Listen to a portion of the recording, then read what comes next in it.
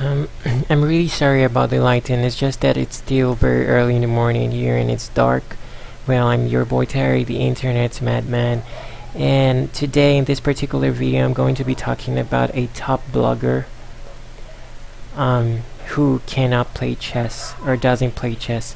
And how do I determine this? I try to picture this person's mind eye, mind's eye by visiting their website, their Instagram pages, and based on their characteristics after I've paid attention to even the tiniest details um, and tallying it to the likely characteristics of someone who plays chess, um, then I'm able to determine that um, there is a huge likelihood that they cannot play chess or don't play chess. I don't know if those are the same things, but um, well, so we're talking today of a person. She's a wonderful woman. She resurrects, so to speak. I'm someone who is in the rubble, but I was so inspired to write after reading her blog. She's such an amazing person, a very strong woman.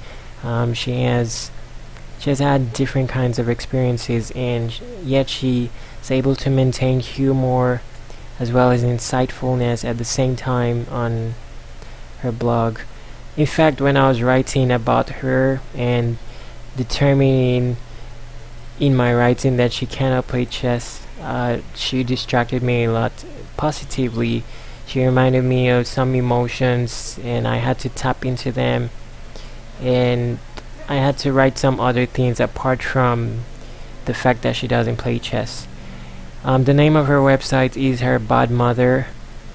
Um, I think .com. I'll just place a link underneath this video to her website. It's wonderful. Uh, you'll be inspired and to new avenues if you went to her website.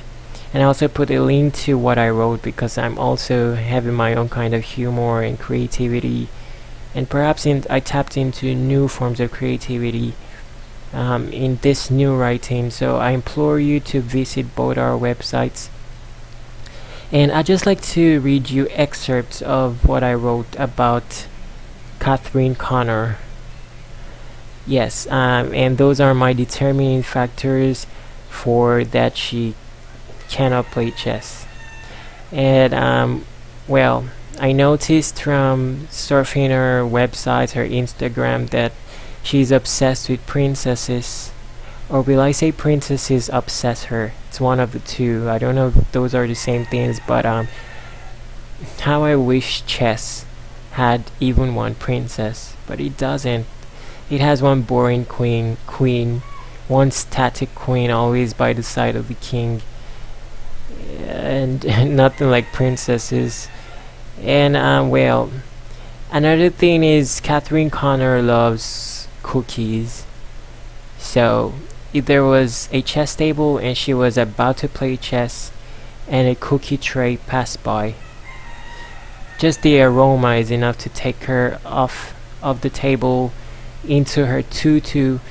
I think that's her headgear, some form of hat, and she'll be off trying to trace those cookies, those are nothing comparable to a boring game of chess.